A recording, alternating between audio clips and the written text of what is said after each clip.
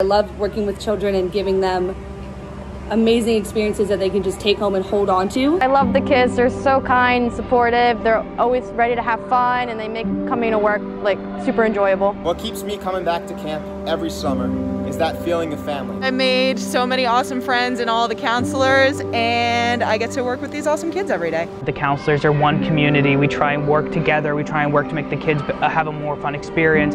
The managers are just so much better than at the place I was at before. It just is more of a family rather than it's, um, you know, just a workplace. It was awesome. I made so many friends. What keeps bringing me back every year is all of my campers and the family that I built with all of the other counselors and everyone with me. It's not like your normal job, just sitting around. I get to, I get to try new things, play new games, explore different places. I love working with kids. That's the main reason.